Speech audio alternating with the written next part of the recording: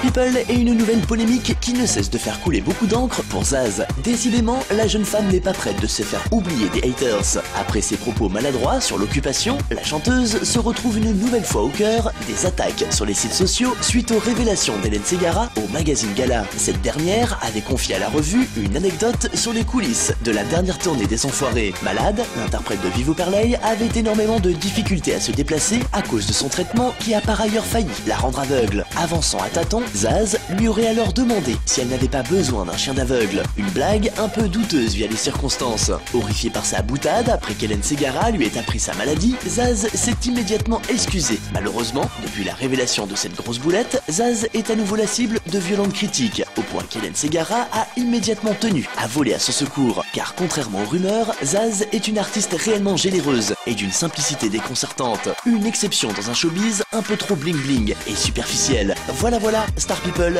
fin de ce numéro. On se retrouve dès la semaine prochaine, même jour et même heure sur cette antenne pour de nouvelles